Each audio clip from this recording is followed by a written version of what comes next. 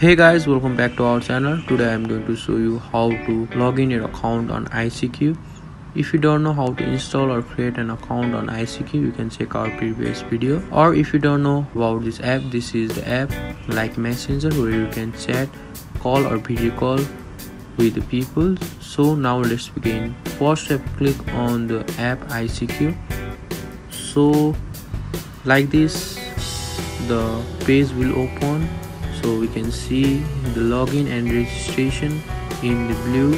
So now we click on that. So now we have to write your number here. So now we have to click on next. So the ICQ will send you the code. So we have to copy the code and paste here. So like this you can sign in your account on ICQ so thank you guys. Hope this video was helpful for you guys and hope you guys like it